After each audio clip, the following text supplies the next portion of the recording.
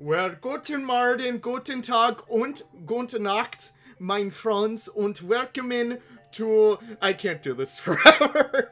Welcome back to Tiergarten, Wilhelmsdorf. My name is Leaf. If you guys are new here, I do apologize. I will never butcher German again.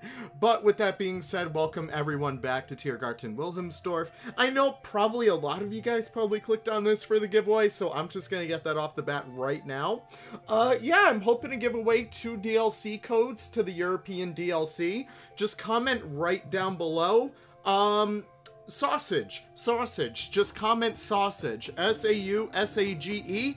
And then next week, next Wednesday, I'll pull out the results and then we can finally give out those two codes. But with that being said, I hope everyone is ready for a wonderful little episode today because we are tackling the Ibex exhibit. Yeah, so this one is one that I was very inspired by Brookfield Zoo by. So if you guys don't know Brookfield Zoo, it's one found like around Chicago, I think it is, somewhere around in that area.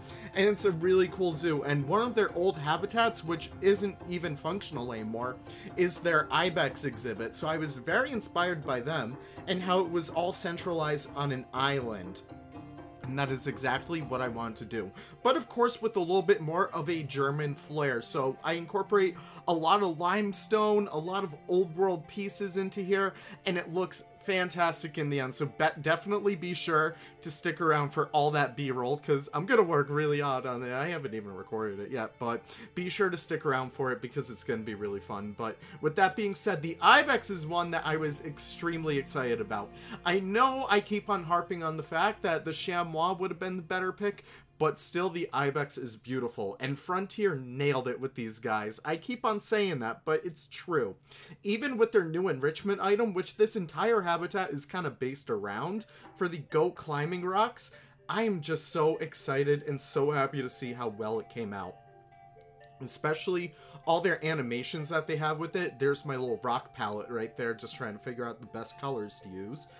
And rounding out the rest of this viewing area, oh my gosh, the limestone pieces that we have access to now, they absolutely hammered it down with like how useful these can be. And one of the things I really wanted to focus on over here was making this entire kind of this is sort of a way to prevent the ibex from climbing out if they ever do escape their little island, but I really wanted to make this little concrete barrier really stick out and make it really beautiful. So I just go ham with the tiny pieces in there, and I just copy it all the way down to the other side as well, just making it look really beautiful.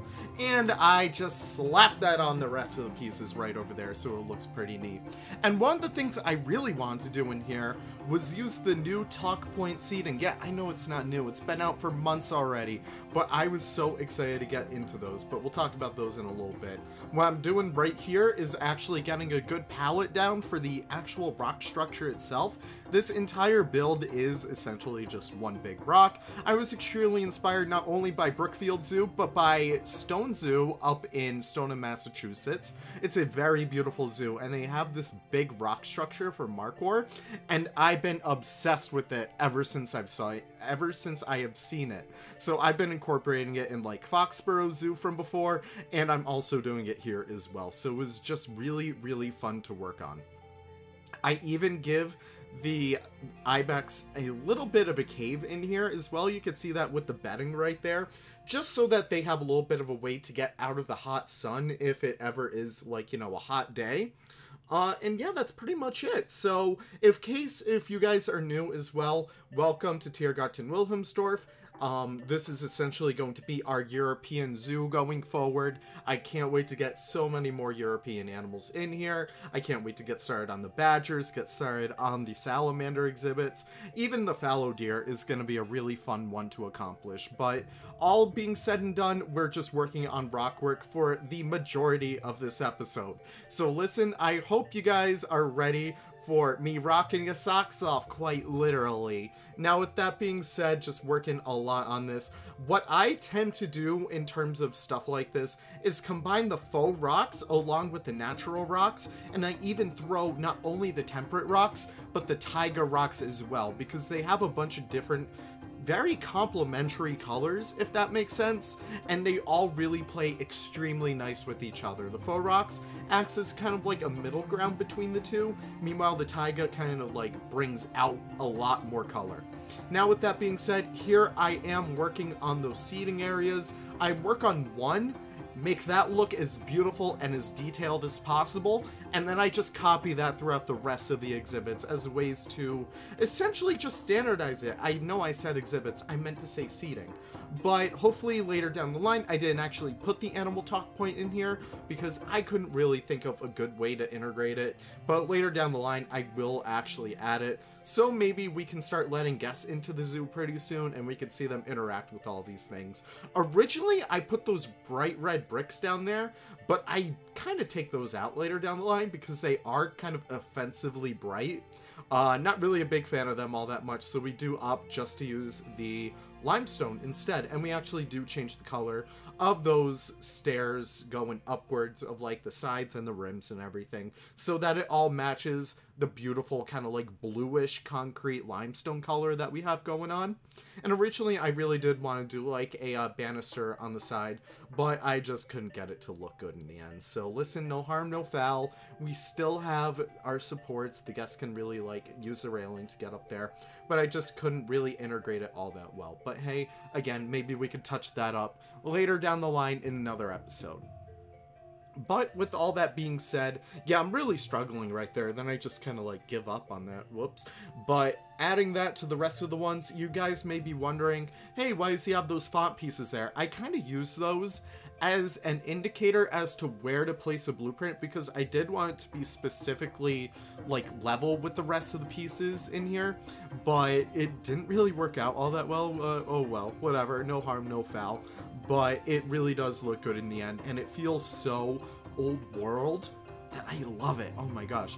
And looping the path around those as well to give it a little bit more dead space. Not really dead space because we do use that with like planters and being sure to incorporate as much dead space as possible between your exhibits and making it look good is something that I always do try and stress really does help to bring a Planet Zoo build into a very realistic build. I tend to build a lot more realistic if you're new, if you're kind of new here. Not nowhere as realistic as Zoof and Leader, but I do love building semi-realistic. I tend to take some liberties some of those celebrities kind of like are like I usually don't dress up my backstages all that much and sometimes I don't even make toilets in my zoos. I don't even think there's a single toilet in Sugar Pine Zoo now that I think about it.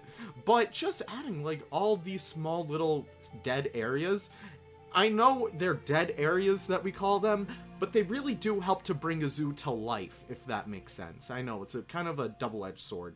Also, what we're doing over here, we're basically dressing up the side of this exhibit, just making sure that all these cliff faces look very nice, very jagged, and of course very fake, because I don't see this exhibit occurring in real life what I mean by that is you wouldn't see this natural structure. You would definitely see a lot of plaster, a lot of concrete go into this build. And while I did integrate a lot more of the temperate rocks in here, zoos have come such a long way with making their builds look extremely realistic that I think I could get away with some of that stuff. But just essentially clamoring down on the rest of the small details in here, making sure everything fits perfectly. Everything is in its place, especially all those rocks. I was having some issues with the offset of the ibex on the actual rock itself. I was not able to fix that, but I was able to find a quick little cheaty way around that. I did put a faux rock on top, and the ibex essentially just climbs on top of that and it looks really cool. It's probably one of the last shots in the b-roll if you will stick around to watch that. I'm pretty happy with how it all came out. It was really fun to accomplish. And also adding even more faux rocks around here as a way to give it a little bit more detail a little bit more texture. I love how well the faux rocks came out. I did not get to use any of the new tiny faux rocks that Frontier were so gracious to give in the new DLC. Also, can we talk about the new egg pieces? I just found those recently and they were so freaking... I did not expect them to give us fake eggs. I was so amazed to see that. Also, working on the tiny little cave over there, I essentially just copy you know, just a couple of basic pieces just to make sure it feels like I got the general shape down. And then on top of that, I add all the rest of the rocks to give it all the texture that I really need. I felt like it really wasn't supported in the back, so I do add some faux rocks as a kind of background in there. I feel like that would work out pretty well in real life. So, you know, that looks pretty damn good in there, I if I do say so myself. But moving on, just adding the rest of the temperate rocks in there. I think I may throw in a few taiga rocks as well. It really does help it look a lot better. And one of my favorite things about the ibexes, this I really got a claimer on for Frontier about. This is one of my favorite things. When I was recording the B-roll, and you'll actually hear it, you just hear click, click, click, click, click of all the ibexes walking across the rocks and it is the most satisfying thing to hear ever. I love how well Frontier were able to integrate all that inside of the sound design, and that's easily what takes the Ibex to being one of my favorite animals from the DLC. I think all the others have a little bit of a hard time trying to catch up with that. But with that being said, we are also working on the exterior of the exhibit as well. Something you'll notice about me, if you guys are new here, is I tend to not really build in one place for too long. I kind of like to hop from place to place and that's usually my style. And if I like edit so like everything is all together, like all the Ibex exhibit is all together, and then all the scenery on the outside is, you'll see like the build kind of like take place in the background. It just won't look good, so I just kind of go through this all chronologically. But, of course, with that all being said, I add as many Ibex in here as I possibly can, because it was a little bit bigger than I was expecting it to be, but I think that actually adds to it a lot more, because these guys are the, like, flagship animal of Tiergarten, and I really did want to emphasize how beautiful that they are, and they're really, really, really iconic species. And I'm so happy that Wilhelmsdorf is able to really give them the recognition that they deserve. I love my sheep around here. I absolutely love them. So getting more sheep officially in the game is always amazing. And of course, we are going back to planting more plants. Yes, everyone's favorite part of the video. Everyone, just comment your favorite plant down below from Planet Zoo, as well as sausage, in case if you do want to enter that giveaway. But listen, here we are working on all this planting. As I say before, the planting in my style is very much like painting. I tend to take my basic colors, in this case it would be the dren grass, as well as some of the new plants such as the periwinkle bushes, as well as adding some more intense colors colors on top of that with the dog rose bush adding some more dog rose bushes always helps out. And even doing a lot more different plants in terms of that. Even some flowers in some cases always brings it up with a nice little color. And the very last thing that I do add are the trees. I don't have too many trees in here just because I don't want the trees to take away from the height of the build trees tend to do that when you do build like mountainous kind of exhibits and stuff like that. Even the background of this of the exhibit itself with like the forest nestled behind it, it kind of does take a little bit of weight from it, but I think in the end it really does look spectacular against the mountainside. So that's essentially what I was going on with right over there. And yeah, what do we do over here? We're just copying over some of the palettes from the other side with the already existing Lynx exhibit. And here we actually go making the kind of background piece, kind of like the set piece of this entire build. So one of the things I really wanted to incorporate were these Swiss chalets, or like the Swiss ski lodges and stuff like that. Just because we are in the Black Forest, I did want to integrate a lot more of that Germanic architecture and Germanic culture in here as well. So being able to make like the ski houses was something that was number one on my list. My Pinterest board is littered with them now, thanks a lot. But with that being said, I really wanted it to be nice and simple because I don't want to spend too much time on something that you're not going to see up close when I build, I build for the perspective of the guests. So I really prioritize detail on the guest level. And then whatever comes after that, I tend to really like, you know, I cut a couple corners and it's totally fine to cut those corners because hey you don't even see those corners. Heck i don't even think you could see the corner of this building from the lynx exhibit. Not the lynx exhibit the ibex exhibit. I know it's very confusing. They both have four letters. Now with that being said i essentially just make sure i have a good palette for this entire build or at least this section of the house then i double it on back of each other. I think it looks pretty good in the end. The only thing that i regret not making is a chimney I really wanted to make a chimney for this, so I think I'll actually do that in between this and the next episode. The next episode, be ready, guys. I think we're going to handle the badger. The badger is also one of my favorite animals from this DLC. They're all my friggin' favorite. What am I saying? But I'm so excited to start building on that, so you guys better be ready for that one. But with that being said, there I am just doubling it on back of each other. But I think, yeah, that's pretty much it, so I see it from the back.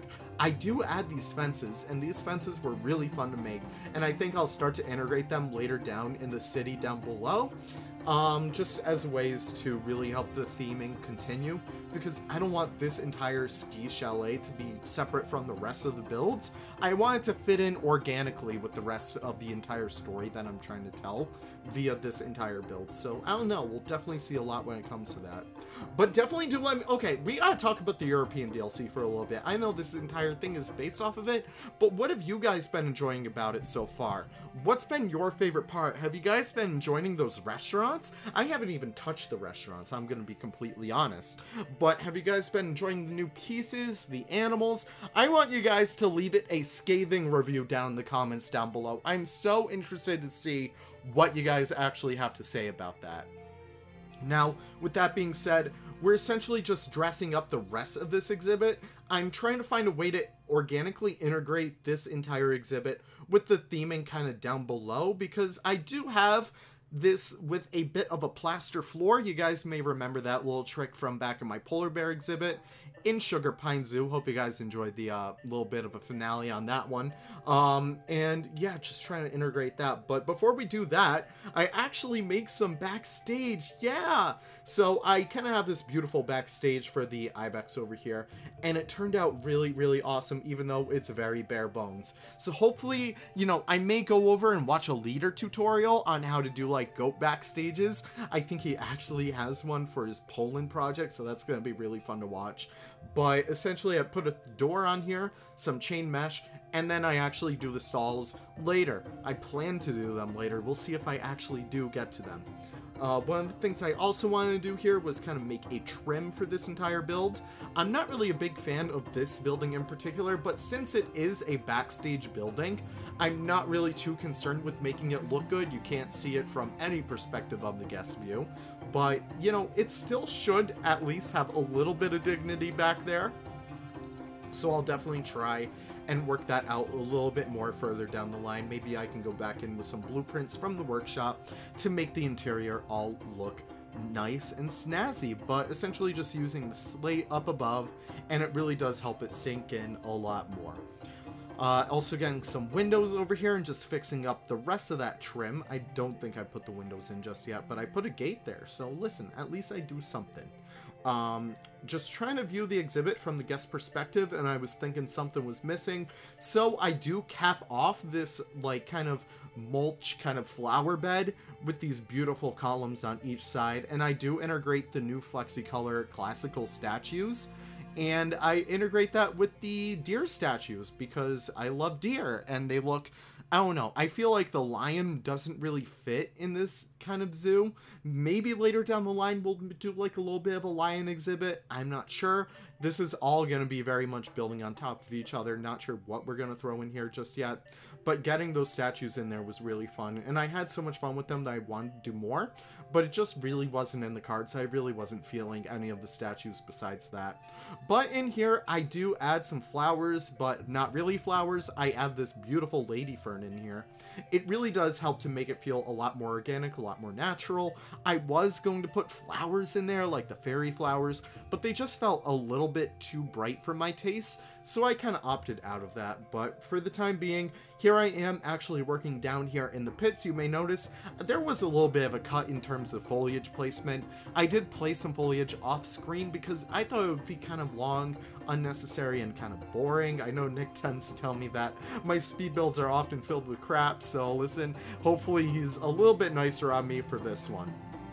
But adding the rest of the larger trees in here to give this exhibit a little bit more of a sense of scale, a little bit more of a sense of purpose within the greater context of the Black Forest, using all these beautiful London plane trees, integrating those along with a nice birch grove. I tend to add my foliage in clumps, when it comes to like the larger trees, so I tend to keep the same kinds of trees all together. So I have like these tiny little groves. That's usually how you would see trees kind of grow in real life as well. Also adding these small little paths right under the actual um uh, what do you call those grandstands? I guess I don't even know anymore. So it kind of flows a little bit more organically. Also doing a little bit more work on the guest area right back here as a ways to really make it feel like a little bit more built up. I tend to neglect the guest areas when it comes to these speed builds, so really taking the time to sit down and work on them was really, really fun and pretty rewarding because this entire area really feels so beautiful in the end. And we do integrate some planters in there as well, so we do get some nice, beautiful flowery foliage in the end. Um, what else do I add in here? I think I also dress up the back of those with some cowberry bushes. Those are always so wonderful for doing like small clutter like that. I wanted to do bamboo, but I think we gotta stick with the dog rose bushes. They are so intensely beautiful, so they came out extremely well. And yeah, just trying to dress it up with some flowers as well from the dog roses, making it feel a lot more brighter, and throwing that tundra cotton in there, I think that is. And that is pretty much it for it. I just add some benches as well. Make sure that like all the guest education, all the guest scenery works. And this is one of my favorite things in here as well. It didn't really come out the best, but I really wanted to integrate some like more in-depth signage and a little bit more storytelling in here. So I do have this emblem of the ibex itself. And I don't know, it was made with the North African tiles and like the North African pieces. I think it looks pretty neat. I may go back and redo it because it's not necessarily my best work. So, I don't know, we'll probably see it later down the line. Maybe I'll even take a cheap way out and use some billboards or something. I don't really know. But just trying to make this all look nice, make it flow with the rest of the area. Especially mixing the colors alongside the, um, what do you call those? The limestone that we got. It is pretty much done like that. And then we kind of like trace it with those pieces, make it look pretty nice with the tiles. Again, I'm not sure if that one will stick, but we'll see it later down the line if I do tend to change it. But with that being said, we're to cut to the B-roll right now. Thank you guys so much for watching. I really do appreciate you guys stopping by. Be sure to comment sausage down below in case if you do want to enter for a chance to win the European DLC. Again, it will be revealed on my community tab next Wednesday. That's when I get home from vacation. So I hope you guys do enjoy that little bit of content that I'm building up in between then. But with that being said, thank you guys so much for watching, and I cannot wait to see you guys in the next video. Take care and have the most wonderful of wonderful days. Bye-bye now.